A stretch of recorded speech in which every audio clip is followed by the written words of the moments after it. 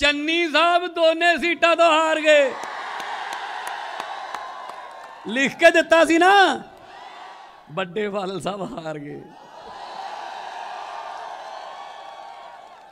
ਸੁਖਵੀਰ ਜਲਾਲਾਬਾਦ ਤੋਂ ਗਿਆ।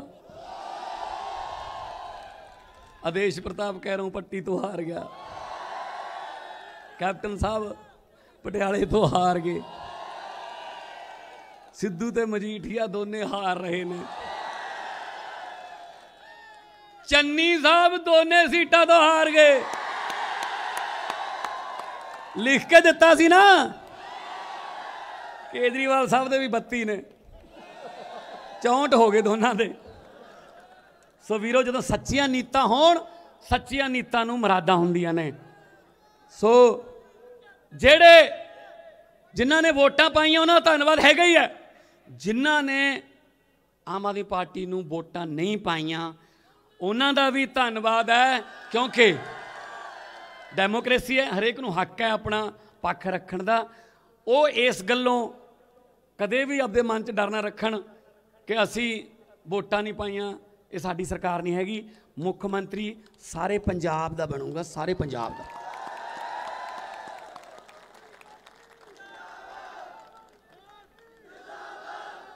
ਸੋ ਵੀਰੋ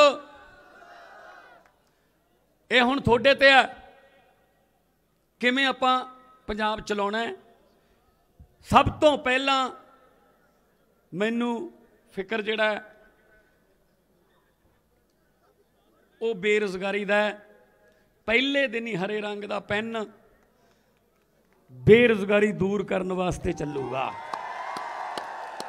ਹੌਲੀ ਹੌਲੀ ਤੁਹਾਨੂੰ ਲੀਡਰਾਂ ਦੇ ਕਾਫਲਿਆਂ ਚੋਂ ਬਾਹਰ ਕੱਢਾਂਗੇ।